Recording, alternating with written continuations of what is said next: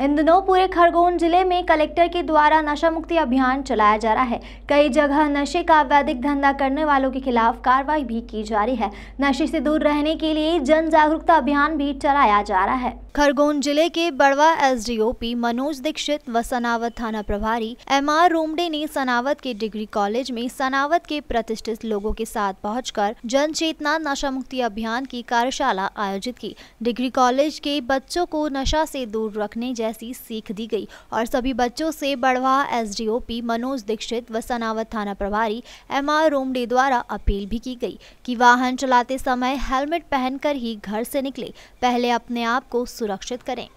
जी जैसे कि हमारे प्रशासन और पुलिस के द्वारा ये कार्य किया जा रहा है नशा मुक्ति से संबंधित। तो उसमें हमारा हम आम जनता का दायित्व बनता है कि हम उनकी बातों को समझें और उनके द्वारा जो हमें उपदेश दिए जा रहे हैं जो समझाइश दी जा रही है उसे हमारे दैनिक जीवन में लागू करें जिससे जो नशे की समस्याएँ बढ़ रही है कहीं ना कहीं वो रुके और उनका हम निदान करें। राज्य शासन द्वारा जो नशा मुक्ति अभियान पूरे प्रदेश में चलाया जा रहा है उस संबंध में जो कॉलेज और स्कूल्स में भी हम लोगों को जाकर वहाँ पर उनके बारे में अवेयरनेस करने के लिए आज सामाजिक संगठन और अन्य लोगों की मदद से एक आयोजन किया गया था, जिसमें उनके कुप्रभाव नशा कुप्रभाव और उसमें जो समस्याएँ उत्पन्न हो रही हैं समाज में, उनसे दूर रहने क्या उपाय हैं उसमें डॉक्टर्स और अन्य समाज से भी बुलाए थे।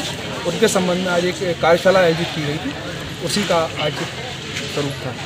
किस तरीके से सर बच्चों को समझाइश दी गई और क्या रिस्पांस मिला उसका?